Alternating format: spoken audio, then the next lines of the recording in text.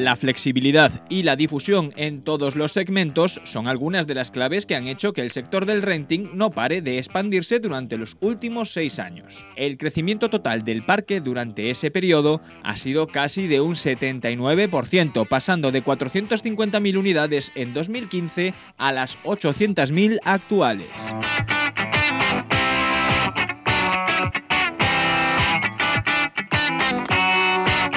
En lo que tiene que ver con los clientes, durante los últimos seis años se han sumado casi 195.000 nuevos, lo que significa que se ha multiplicado la clientela del sector en 4,5 puntos. Las empresas pequeñas, los autónomos y particulares han aumentado en 22 puntos su peso en renting, copando ya el 96% del incremento del parque durante este tiempo.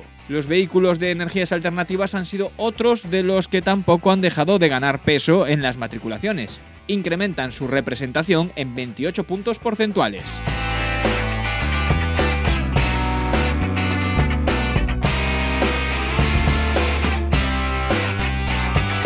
Además de la flexibilidad y la difusión en todos los sectores del cliente, la receta para este gran crecimiento se basa también en la calidad del servicio que ofrece el sector del renting, la proactividad o la búsqueda de la excelencia en el trato con el cliente.